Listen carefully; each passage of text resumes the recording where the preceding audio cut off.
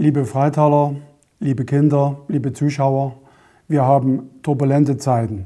Lassen wir uns nicht verrückt machen. Unsere Stärken sind unser gesunder Menschenverstand und unser Zusammenhalt. Mir hat vor kurzem eine gute Bekannte ein Gedicht von Joachim Ringelnatz zugeschickt und das möchte ich Ihnen jetzt vorlesen. Das Gedicht ist überschrieben mit Schenken. Schenke groß oder klein, aber immer gediegen. Wenn die Bedachten die Gaben wiegen, sei dein Gewissen rein. Schenke herzlich und frei, schenke dabei, was in dir wohnt, an Meinung, Geschmack und Humor, so dass die eigene Freude zuvor dich reichlich belohnt.